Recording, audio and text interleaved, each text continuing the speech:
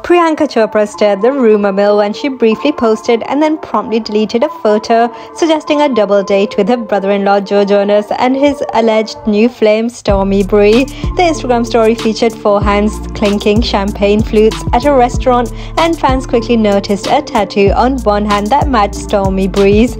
Speculation about Joe and Stormi's relationship began when they were photographed arriving in Cabo San Lucas and spotted on a dinner date in Aspen, Colorado. An insider shared with Us Weekly that Joe is enjoying his time with the former pageant queen while maintaining a focus on his children from his previous marriage. The duo confirmed they were in the same location by sharing social media posts featuring views from the snow covered mountains. Observant fans even pointed out that Stormi wore the same beanie that Joe sported during a night out in London a few weeks earlier. Joe Jonas filed for divorce from Sophie Turner after four years of marriage. Turner has reportedly found romance British aristocrat Peregrine John Dickinson Pearson, confirmed through public displays of affection in Paris. Thanks for watching Have It All Daily. Please like, share, and subscribe.